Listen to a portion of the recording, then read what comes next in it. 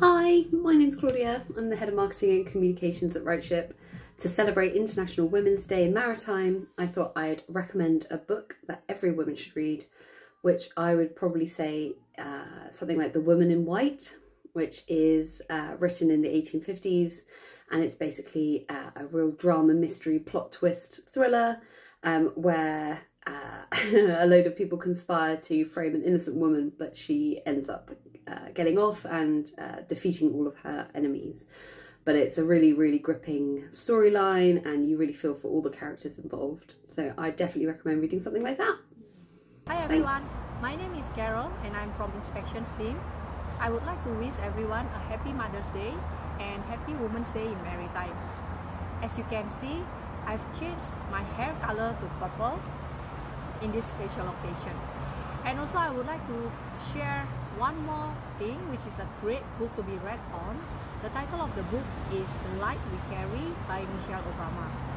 One of the quotation I found very inspirational is this. If you know your light, you know yourself. You know your own story in an honest way. The book teaches us how to be light to ourselves, to our family and friends, and to others. Enjoy reading the book and have fun. Thank you. Hi, I'm Hazika from the Data Science team and this is the book that I think all women should read, The Adventures of Amina Al-Sirafi by Shannon Chakraborty. It's one of the most unique fantasy novels I've read in the sense that it doesn't have a young heroine saving the world. Instead, we have Amina, a middle-aged mother who dreams of reliving her old glory days as the captain of the most notorious pirate crew in the Indian Ocean. So when the opportunity arises, Amina is unable to resist the call of the sea and sets off on one final adventure with her friends. If you're a fantasy novel fan, you should definitely check this book out. Hi everybody, I am Serene from the strategy team and the book that I would recommend all women to read is Make Your Bed by Admiral William H. McRaven. It started as a university commencement speech in 2014 and has been made into a book. There are 10 lessons in this book and the one that stood out to me is not to be afraid of failures. Failures and disappointments are part and parcel of life and should be embraced where we can learn and improve.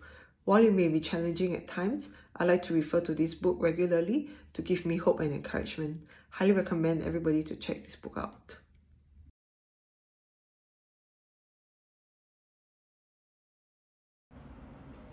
Hi everyone, this is Hayden. I am an executive assistant at RightShip and I'm based in Singapore.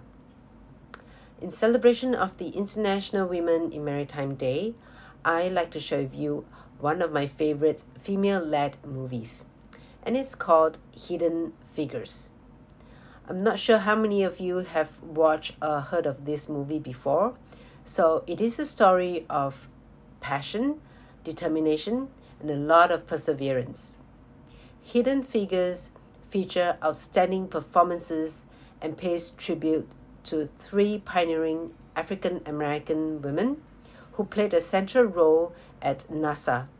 In the early 1960s um, during the space race between um, United States and the Soviet Union.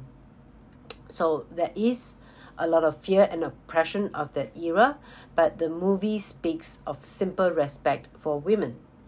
And as we all know that that is a very challenging period for women and especially so for women in color so it is a joy um, to see powerful women um, as the driving force around the movie um, which is very inspiring um, to girls of all ages a lot of positive representation um, from the movie itself and that women can be strong women can be smart, women can be funny, and yes, women can change the world. So hopefully we will continue to have more accurate representation of hardworking women in the world.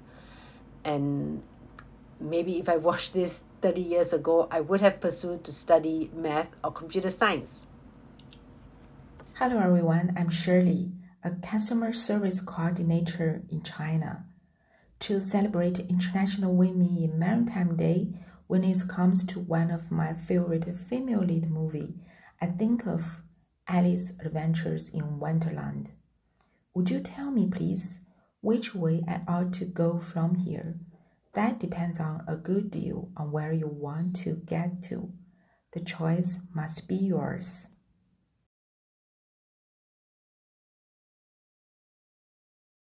Yesterday morning, I woke up at 4 a.m. for the transport to the vessel that we were about to inspect in Barcelona Anchorage. So by 7, we board this vessel for the inspection and before the opening meeting, I asked for the toilet. I noticed that there were no sanitary facilities, garbage bins, so on and so forth. And I, in the opening meeting, I asked to the captain to rectify that to put garbage bins, sanitary hygienic bins for the woman because no woman likes to walk around with a dead body in the pocket, right? Uh, the captain immediately acknowledged that, and that's just a small example because this was immediately ratified on how good the progress is of making the maritime environment a comfortable place for everyone, male and female. Happy Woman Maritime Day. I am Andy. I envision a world where women feel empowered to embrace and celebrate their accomplishments boldly. They should be able to share their achievements without worrying about being perceived as boastful or overshadowing anyone. By embracing and celebrating women's accomplishments, we can collectively work towards achieving true gender equality. Hello, my name is Charlene Grech, and my role at RightShip is that of a software quality assurance lead. As we are close to celebrate Women in Maritime, I wanted to share with you two very interesting podcasts that I usually listen to, of which both of them are hosted by great or rather, but by what I define as great and very interesting women. One of which is Unlocking You, hosted by Brene Brown, and the other one is uh, very much different in nature, yet uh, super interesting nonetheless, um, called Call Your Girlfriend, hosted by um, two friends, Ann Friedman and Aminatou Sow. Um, while yes, both of them are very much different in nature. I feel that both of them give me that sense of good feel factor, and there's always something positive to take out of each and every series that I listen to. So have a look at them. Hi, uh, I'm Devi Somasundaram. I'm working as a quality assurance engineer. So my biggest motivation is my family. Uh, they are the biggest source of inspiration and my strongest supporters as well when I see my parents working, it gives me the drive to be like them. The dedication to working is what motivates me to be like them. So they are self-motivated individuals.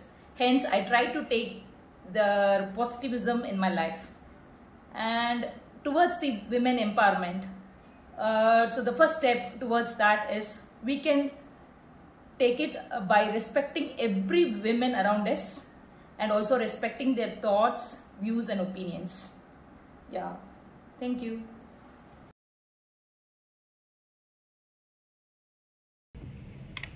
Hi, my name is Leah. I'm part of the marketing team based in London.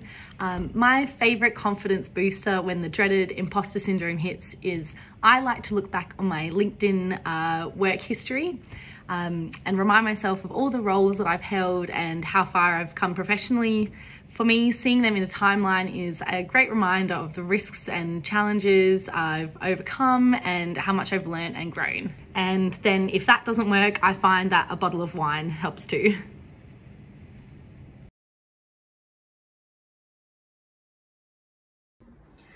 What is my superpower? Well, if we've ever hung out, I've probably joked at some point that my superpower is that I'm very difficult to embarrass. And this comes from a lot of practice of putting myself in positions that involve said embarrassment. But as I reflect on it a bit more, I actually realize that this is quite a useful superpower for me to have. Because to not be easily embarrassed, I need to separate myself and my ego from any situation. Doing this means that I take more risks it means that I shed my fear of failing or feeling like less than. It means that I allow myself to be vulnerable, even if I feel foolish or uncomfortable. Did you know that men will apply for a position if they meet 60% of its criteria, and women will only apply if they meet 100%. As I think about my career, I can assure you I have never felt 100% ready for the day, let alone an entirely new position. And putting myself in these uncomfortable situations has meant that I have learned, I've failed, I've dusted myself off, I've started again. Um, I've often asked questions that maybe expose my lack of knowledge, but hopefully also my desire to learn and do more. So my unsolicited advice for you today is make yourself very difficult to embarrass. And a very happy International Day for Women in Maritime.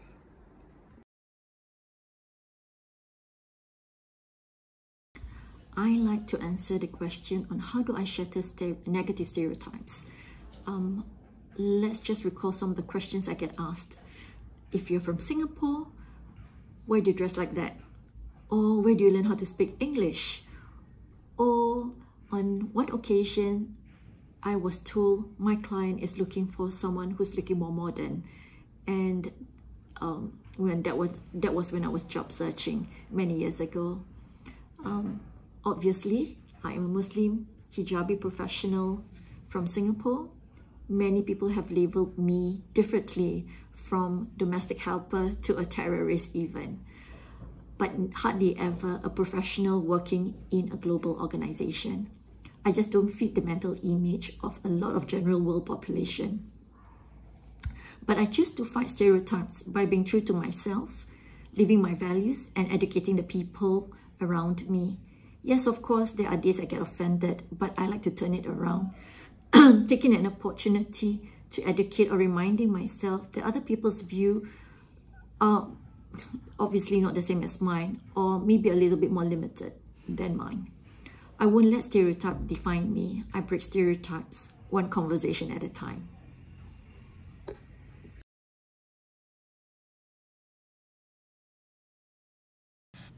Hi everyone. I would like to wish all ladies a happy International Women's or Maritimes Day.